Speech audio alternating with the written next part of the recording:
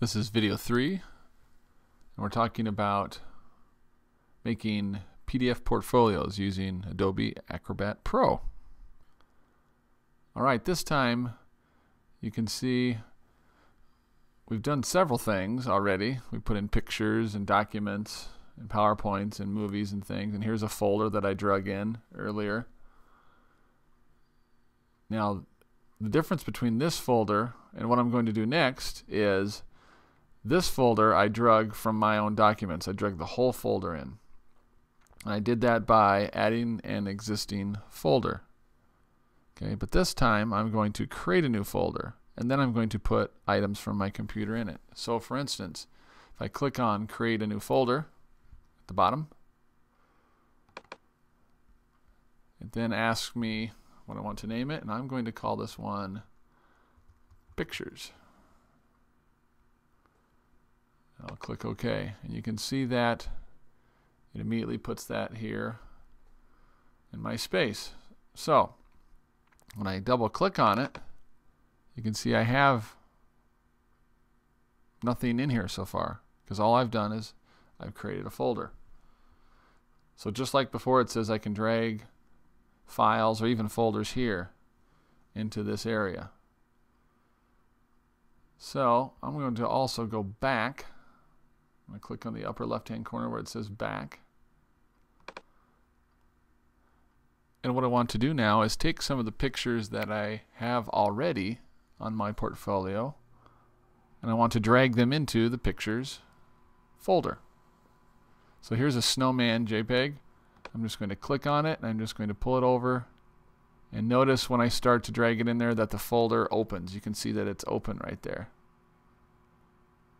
Alright, and I let go and then that picture is now in there. If I double click on my pictures folder, there it is.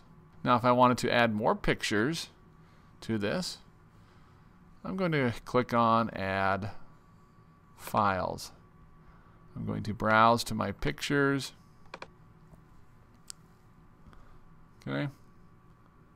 If I wanted to add some items to it, I can select it and click open and then it shows up there.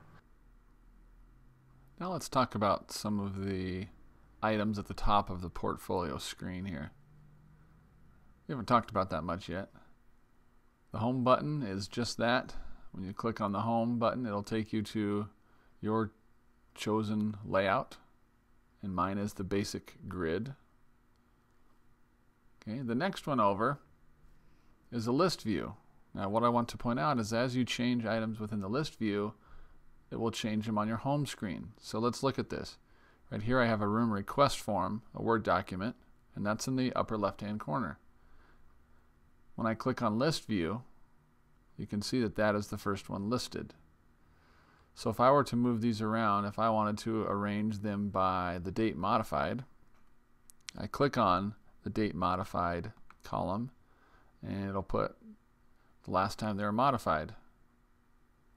That item was modified in October 21st. Now that one's at the top, the pictures folder. So now when I go click on my home button, guess what's in my upper left hand corner? Okay? So as you change things on your list view, it will change them on your home screen.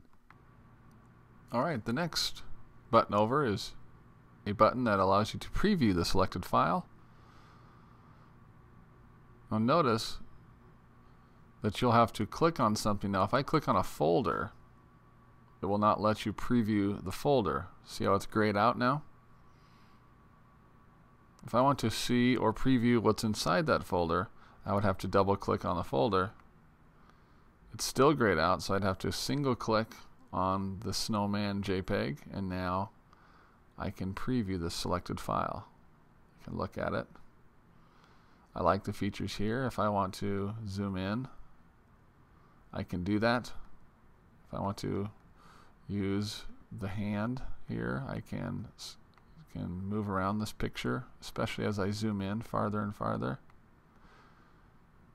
I can rotate the selected item or I can actually open it. The next item is self-explanatory. It simply opens the welcome page in case you wanted to view it to see what it looks like. So there's my welcome page. The next button over is saving. When you are ready to save, you can save it. You can change the name by choosing Save Portfolio As, or you can just save a file from the portfolio. Next, if you want to print, you have the option of printing some or all of the files in this portfolio. All right, the next one over. Share this portfolio with others. You can share it on acrobat.com or email it to the person that needs to view it. And also, you can see here if you need to change your portfolio, there's a modify button here, and it gives you many choices of what it is that you need to do.